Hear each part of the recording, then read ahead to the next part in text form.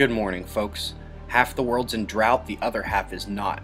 This is the latest out of North Korea, where neighboring China and other regional states have been pounded with cyclone after cyclone. Not exactly stopping now. We're not sure if that weather is what's caused the electrical malfunctions leading to the reactor shutdown in South Korea.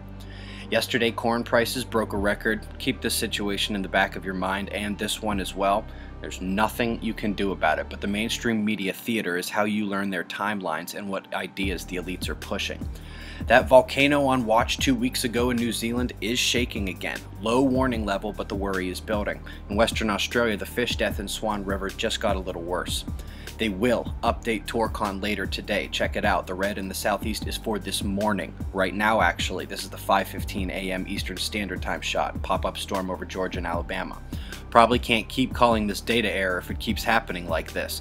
Large signatures here. You can see this density drop to zero in the pitch angle below.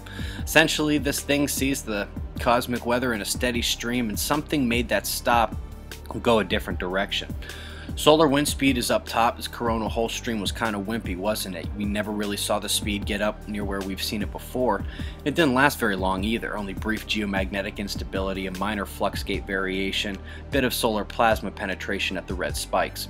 The sunspot number is 106. There are a lot of active regions on the Earth-facing side of the sun, and NOAA might as well not even label active regions if they're not going to do it properly. NOAA, Either this is two or three separate active regions, or the whole is clearly beta gamma, and still likely delta there in the center. This region up north doesn't exactly look nice either, and she's got a shadow peering over the limb, south matching tit for tat.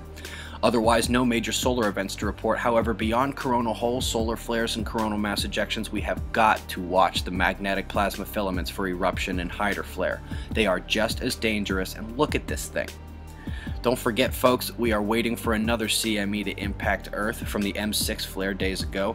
Geomagnetic storms are possible, and here you are watching the future. Mars will be closer and closer each night to Saturn and Spica till August 14th, where it meets. Quake Watch is about done, folks. That's the news. Be safe.